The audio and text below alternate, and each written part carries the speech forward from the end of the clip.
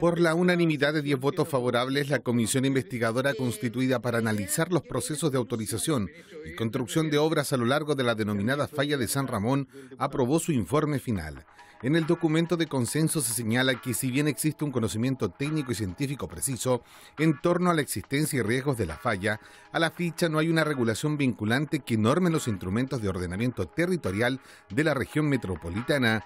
Asimismo, se señala que si bien los organismos del Estado se encuentran en proceso de elaboración de planes y acciones concretas para el manejo de desastres asociados a la actividad sísmica de la falla, dicha actuación no ha sido sostenida en el tiempo.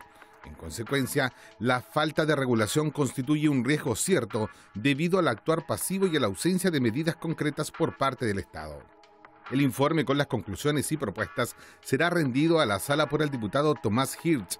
Adicionalmente, se remitirá al Ministerio de Vivienda, al gobernador regional, al delegado presidencial y a los alcaldes de las comunas por las cuales atraviesa esta falla geológica.